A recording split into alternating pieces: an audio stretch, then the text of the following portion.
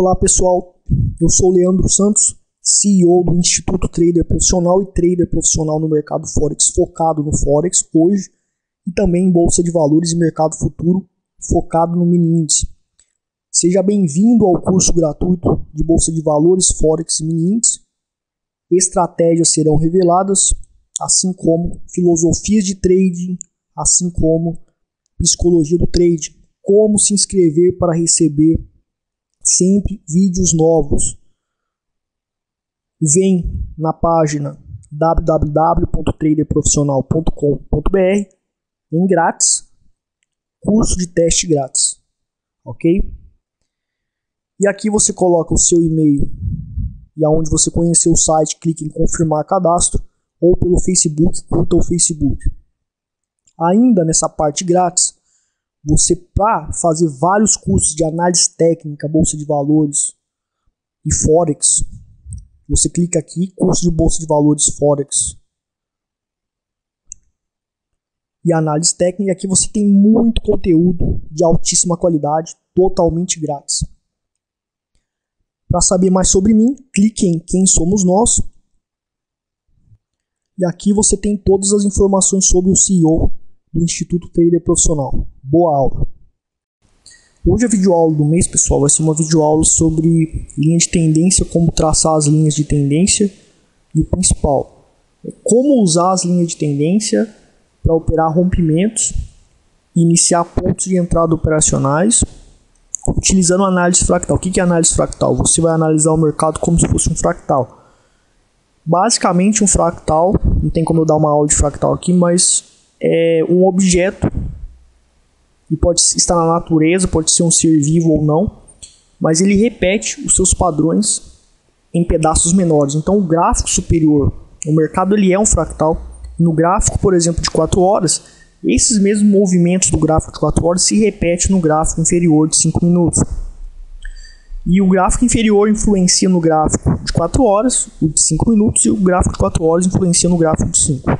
Então a gente tem é, essa dinâmica fractal do mercado, é uma natureza do mercado e a gente usa isso em nosso favor. Então, como usar as linhas de tendência, como traçar as linhas de tendência? Então, em primeiro lugar, muita gente traça as, linhas, as linhas de tendência em qualquer fundo, se é uma linha de tendência de alta ou uma linha de tendência de baixa. É, de tendência, aqui no MetaTrader a gente tem aqui em inserir linhas de tendência, tá? Ele tem a linha vertical e a linha horizontal. A gente vai usar a linha vertical para a gente identificar pontos de cruzamento do gráfico inferior, para a gente analisar a eficácia desse método que eu vou estar tá ensinando para vocês. E aqui a linha de tendência para a gente traçar nos fundos ou nos topos da linha de tendência. Então, linha de tendência de baixo, tá? Então, primeiro que a gente tem que fazer, a gente tem que entender o que é um pivô. Então, quando faz um fundo, faz uma correção para cima, onde o topo ele não supera o topo anterior praticamente e rompe esse fundo, então a gente tem um pivô de baixo. Esse topo aqui, depois que rompeu esse fundo, é um topo confirmado. Então a gente tem que traçar as linhas de tendência em topos confirmados, porque são resistências, no caso de tendência de baixa, resistências comprovadas, resistências significativas, porque é estatisticamente comprovado isso. Então, no próximo topo confirmado, eu vou traçar a linha de tendência. Eu não vou sair traçando linha de tendência em qualquer fundo. Ou em algo que pareça. Eu não vou traçar uma linha de tendência de baixo em qualquer topo, aliás. Ou em algo que pareça é, um topo. Então, aqui fez um fundo, corrigiu, rompeu esse fundo, vai virar um pivô de baixo. Virou um pivô de baixo, aqui é um topo confirmado. Então, aqui já é um ponto para eu iniciar. É, para eu iniciar o uso de linha de tendência. Daí, qual é o próximo pivô e qual é o próximo topo, topo confirmado do próximo pivô para a gente traçar a linha de tendência. Aqui fez um fundo, houve uma correção, esse topo é menor do que o topo anterior. Se romper esse fundo, vai virar um pivô de baixo. Rompeu o fundo, virou um pivô de baixo. Então, aqui é um topo confirmado, que é o ponto para a gente iniciar a, o desenho das linhas de tendência. Então, a gente vai pegar a linha de tendência aqui. Desse ponto até, aí, até esse, a gente tem o, tra o traçado da linha de tendência. Então veja que aqui também fez um topo, veja que ele respeitou a linha de tendência. Por quê? Porque tem essa lógica de que é, as linhas de tendência é, são pontos de resistências futuros é, prováveis e estatisticamente viáveis é, que acontece no passado, se repete no passado e tende a acontecer no futuro, se você usa essa regra dos topos confirmados que eu acabei de falar aqui. Então a gente tem, certo? Essa. Veja que estatisticamente, se você fizer isso em outro, outras tendências de baixo, você vai ver que existe um respeito muitas vezes de novos topos para essa linha de tendência quando para essa linha de tendência de baixo quando você usa essa regra do topo confirmado. Daí aqui houve o rompimento. Então, houve o rompimento, a gente vem e vamos traçar aqui esse ponto de rompimento para a gente analisar no gráfico inferior que se tem uma linha de tendência, é uma resistência. Se, ela, se uma resistência é rompida, ela vira suporte. Então, é um ponto ideal para a gente iniciar uma compra. É, só que isso é forte e ideal no gráfico inferior. No gráfico atual, o movimento pode ser pequeno. Não é recomendável você trabalhar, pelo menos na minha experiência, rompimentos de linhas de tendência no gráfico que você está traçando a linha de tendência. É preferível você usar o conceito de fractal, ir para o gráfico inferior e fazer as operações ali, porque os sinais nos gráficos inferiores, com base nos sinais de rompimento do gráfico atual de 4 horas, é muito mais forte. Certo? Então, se você vai operar o diário, você vai analisar isso no semanal. Se você vai operar no 5 no, no, no minutos, você analisa de 4 horas, como eu estou analisando aqui. Então, aqui foi o ponto de rompimento da linha de tendência com base nos conceitos já explicados. Então, indo para o gráfico de 5 minutos, pessoal, né, a gente tem a linha de tendência traçada lá no 4 horas. A gente sabe que futuramente, depois de dois topos confirmados, e traçamos a linha de tendência em dois topos confirmados, é, a linha de tendência tende a ser uma resistência, então a gente vê que o preço ele tinha dificuldade para passar. Certo? Então, poderia ser um ponto de venda, né, próximo aqui da linha de tendência. No day trade eu poderia estar operando reversão de tendência. Então aqui a gente tinha uma tendência de alta, próximo da linha de tendência a gente poderia estar fazendo operação vendida. Aqui fez um oco, né? Então outro padrão, é, vou colocar aqui mais perto.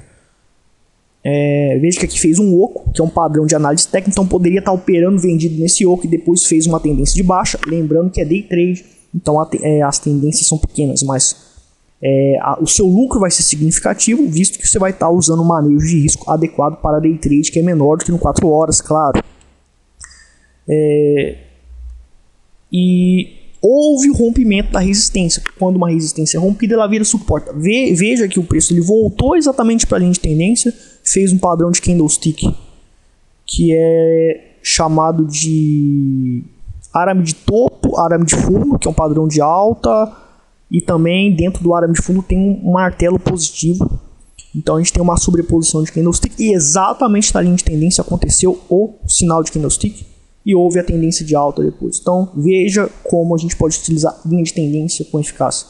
Só que o ideal para usar essa, essa técnica é você usar é, é, com base nessa análise fractal, ou seja, o gráfico superior, você traça a linha de tendência com base nos conceitos já explicados e vai para o gráfico inferior e com base no conceito de resistência futura e suporte futuro, se romper vai virar um suporte futuro, como eu já expliquei aqui, se não romper é um ponto de resistência, podemos iniciar operações vendidas, né, operações de reversão de tendência, como aconteceu aqui.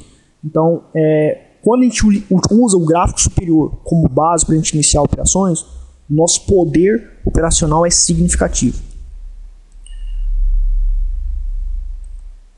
O mesmo conceito para tendência de alta, só que de maneira invertida, é usado para é, fazer linhas de tendências de alta. Então, a gente tem aqui um fundo, né? A gente fez um fundo aqui. Primeiro, conceito de pivô de alto, então fez uma onda, houve a correção, o fundo é maior do que o fundo anterior. Se romper o topo, vira um topo com um pivô de alto. Então rompeu esse topo, virou um pivô de alto, aqui é um fundo confirmado. Então posso utilizar isso aqui para traçar é, a linha de tendência de alto, mas eu preciso de mais um, é, eu preciso de mais um pivô é, fundo, é, fundo de pivô de alto. Então aqui fiz um fundo, se romper esse topo, é, de fato vai ser um, um, pivô de alta e aqui vai ser um, um fundo confirmado. E aqui houve né, o, o fundo confirmado. E houve aqui um rompimento da linha de tendência exatamente aqui. Então a gente vai lá para o gráfico de 5 minutos, analisar o que, aconteceu ali. É, e se romper a linha de tendência, absolutamente nós temos uma probabilidade de, de, de suceder um grande, uma grande resistência uma possível tendência de baixa. Só que no gráfico inferior, a gente tem fortes tendências. No gráfico que a gente trabalha as linhas de tendência, os sinais não são tão válidos assim. Por isso que a gente tem que usar essa. Por isso que eu prefiro usar o conceito de análise fractal para a gente estar tá detectando as melhores oportunidades. Então veja que a linha de tendência aqui no gráfico de 5 minutos, tracei no 4 horas mais uns 5 minutos, nós temos essa visão, certo? E veja, exatamente aqui houve o rompimento. Então veja que depois de acontecer o rompimento, veja que quando o preço ele bate aqui de novo, era um suporte, quando rompeu o suporte vira resistência.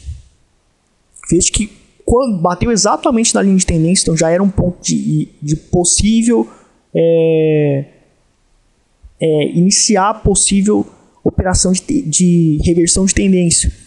Então isso serve como análise para você tomar decisão para é, operar reversão de tendência. E veja que aqui a gente tinha vários, é, várias questões, várias é, eventos que o preço ele batia exatamente aqui na, na linha de tendência que antes era de alta e quando foi rompido foi eliminado e virou resistência. Então veja que o preço bate aqui, tenta reverter a tendência, bate aqui, tentou reverter a tendência. Certo? Então o trader pode iniciar uma operação de reversão de tendência ou quando o tiver algum sinal de que a tendência iniciou de baixa, com base nesse conceito de que a tendência estava fraca porque rompeu a linha de tendência de alta e virou tendência de baixa e o preço respeitou a resistência futura causada pelo rompimento da linha de tendência de alta e virou resistência a linha da, de tendência. É, então você pode tomar a decisão de iniciar uma operação vendida. Então você poderia estar tá iniciando uma operação vendida de reversão de tendência com base nisso. Só que isso é, tem que ser usado para gráficos inferiores com base nas linhas de tendências e esse comportamento de rompimento dos gráficos superiores. Certo? Então isso é uma técnica que eu revelo eu não preciso usar isso na minha metodologia, mas isso funciona. Você pode utilizar isso para você estar tá fazendo sua análise. Faço é, esse compartilhamento de conhecimento grátis para vocês. É, então, pessoal, no meu site, vou finalizar a aula aqui por aqui.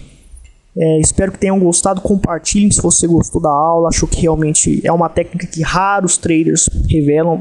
É, eu descobri essas estatísticas e realmente funcionam. Podem usar que realmente funciona.